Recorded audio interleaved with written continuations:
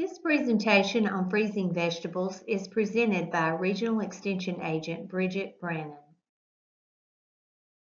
When properly selected, prepared, frozen, and stored, vegetables hold their fresh qualities. The flavor, color, texture, and nutritive value does not change. Using a few important techniques to freeze vegetables can help to ensure a quality product. Vegetables that are tender and just mature are best. The fresher the vegetable when you put it in the freezer, the more satisfactory your product will be. Vegetables are generally better if picked in the early morning when the dew is just off the vines. The shorter the time between harvesting and freezing, the better the resulting product. To prepare vegetables for freezing, you do it in much the same way as you would for cooking. First, you want to wash them carefully and thoroughly before you start preparation. While you're washing, be sure to sort for size and eliminate any inferior vegetables. For best results, freeze only the choice, fresh, tender ones. Sorting by size is very important for blanching because it makes packaging easier. You want to lift the vegetables up and down when washing. This agitates the water and removes trash and dirt. Blanching is a critical step that must never ever be skipped. The only exception is bell peppers. It also must be done carefully, otherwise a poor product will be the result. Blanching stops the enzyme action that destroys the fresh flavor in some vegetables. If vegetables are not blanched, then enzymes are left in their active state, which results in a change in flavor and color to the vegetables after about a four to six week period in the freezer. An off odor develops that's very noticeable when the vegetable is cooked. Blanching also helps to shrink some vegetables, which makes them easier to pack, and it also destroys some organisms or bacteria and removes surface dirt that might be present. It's important that only one pound or about one pint of vegetables be used to a gallon of vigorously boiling water. This may seem like a small amount of vegetables, but you will have a much better product with this proportion. The water must circulate around each piece of vegetable and then return to a boil quickly for the enzyme to be destroyed. It does not take more time to blanch four quarts of a vegetable using this method than it does to blanch four quarts all at one time. As soon as the gallon of water is boiling, then you want to add the pound or the pint of prepared vegetables and stir, and then place the lid on the blancher. Be sure your burner is on high. The water then will then return to a boil within a minute or so. Um, and when that water has returned to a vigorous boil, that's when you start your timing. Remove the lid and stir so that the pieces don't clump together. To destroy the enzyme, the inside of the vegetable must reach a temperature of 180 to 190 degrees Fahrenheit. That is why it is so very important to use a gallon of vigorously boiling water to a pint of vegetables and to start timing only when that water returns to a vigorous boil. When you're blanching leafy vegetables, use two gallons of boiling water to prevent the leaves from matting together. It is important to remember to follow the recommended blanching time for each vegetable. Under blanching can stimulate the activity of enzymes and can be worse for vegetable quality than no blanching at all. Prolonged blanching causes loss of vitamins, minerals, flavor, and color. Here is a list of the most common vegetables and their recommended blanching times. Steaming can be done in a blancher, a vegetable steamer, or a large pot with a tight-fitting lid. This method is recommended for broccoli, pumpkin, sweet potatoes, and winter squash. They each require 5 minutes of steam blanching. To do this, you want to place the vegetables one layer deep in a wire basket or on a rack positioned 3 inches above 1 to 2 inches of boiling water. Cover the steamer or the pot with a lid as quickly as possible. Begin timing when the steam rises again after the vegetables are placed in the steamer. Then you want to promptly cool the blanched vegetables. Steam blanching can be tricky and is less reliable than water blanching. So care must be taken to see that the layers of vegetables are thin enough so that the steam will reach all parts at almost the same time. This method is not satisfactory for leafy green vegetables because the leaves tend to mat together. Microwave blanching is not recommended. Research shows that some enzymes may not be destroyed by microwave blanching. It also may result in off flavors and loss of texture and color. While it might seem to be an efficient method, microwave blanching does not save time or energy. Blanched vegetables need to be cooled as quickly as possible to stop the cooking process. This also eliminates some spoilage organisms that live at temperatures above 100 degrees Fahrenheit. Remove the blanched vegetables from the boiling water and place them in a large pan of ice water. It generally takes three to four minutes to cool the vegetables. Be sure that you have enough ice made for the day. Covered containers of water can be placed in the freezer a day or so earlier to ensure that you have an adequate supply of ice. Immediately after cooling, pack the vegetable in meal-sized portions. If packaging lima beans, peas, or snap beans, add enough ice cold water to just cover the vegetables. This removes air and it helps to preserve the characteristic color and flavor of the vegetable. Any food that's designated for freezing should be packaged in moisture and vapor-proof freezer containers. It should be moisture-proof so the food will not dry out vapor-proof so that oxygen will not penetrate the package and cause the fat to develop an off flavor. Vegetables like peas and lima beans all have some fat content. Vapor-proofing also prevents odors of other foods from penetrating the package. Pack foods tightly, getting out as much air as you possibly can from the package.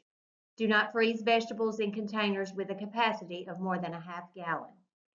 Other features that you want to look for in freezer containers include they need to be odor-free. They don't need to crack at zero degrees Fahrenheit, and they need to be grease, oil, and waterproof.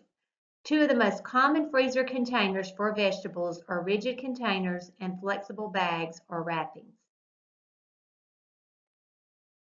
Most foods can be stored in rigid containers. They stack well and they can be reused.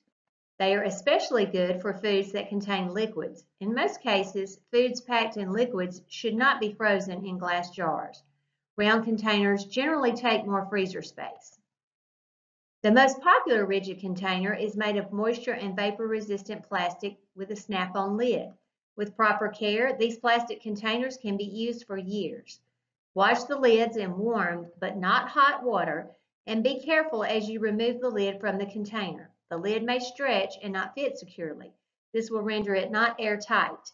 It is best to let cold water run over the lid before removing. If the lid stretches, use freezer tape to seal it securely on the container.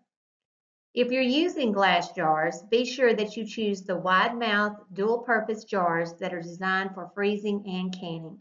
These jars are specially made to withstand freezing and boiling temperatures. The wide mouth canning jar allows for removal of partially thawed foods and leaves room for expansion during freezing. You want to allow at least one inch of headspace when you're freezing in glass and use new lids each and every time and rinse them in cold water before applying to the jar mouth.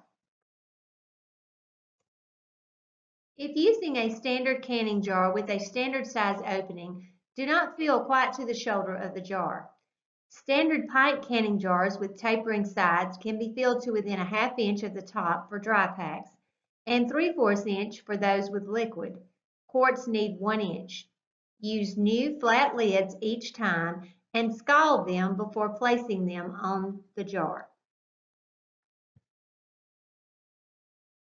A wax type carton usually cannot be sealed airtight, plus the wax comes off easily at 0 degrees Fahrenheit. This is especially true of milk containers. Some of these are plastic coated, but the lid does not fit airtight, and the plastic coating may not always be moisture and vapor proof.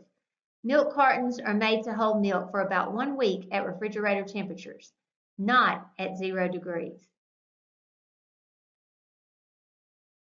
Flexible freezer bags and moisture and vapor resistant wrapping materials such as plastic freezer wrap, freezer paper, and heavyweight aluminum foil are suitable for dry packed products that have little or no liquid. Bags and wraps work well for foods with irregular shapes. Bags also can be used for liquid packs. Plastic freezer bags are available in a variety of sizes. When sealing a freezer bag, you want to press out any air that might be trapped in the bag and leave about half an inch of empty space from the food to the top of the bag. This headspace will allow the food to expand during freezing.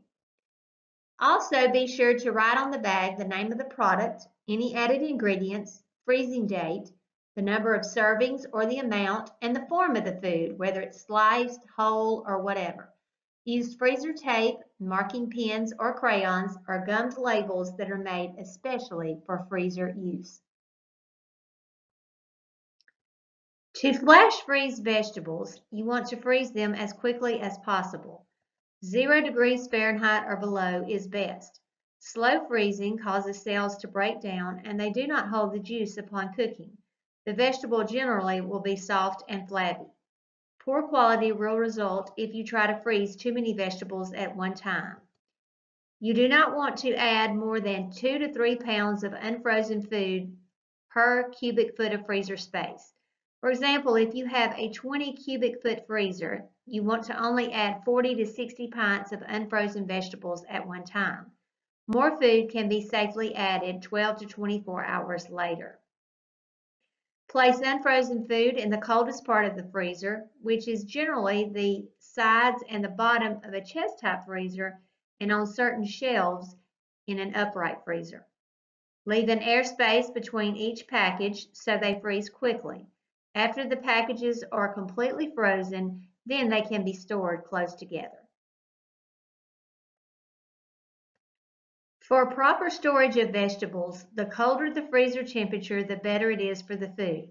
Never let the temperature get above zero degrees Fahrenheit.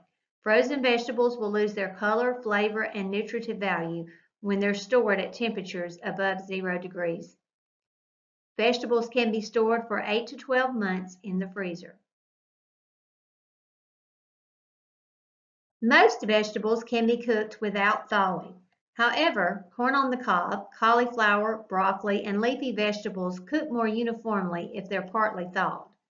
It is best to thaw food in the refrigerator. Do not overcook your frozen vegetables, especially snap beans. They will be too soft.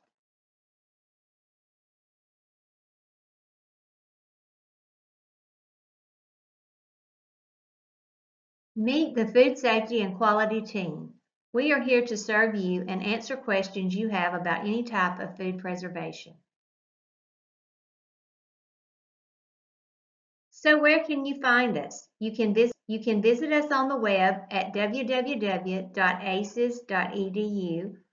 or on our Facebook page at www.facebook.com slash ACES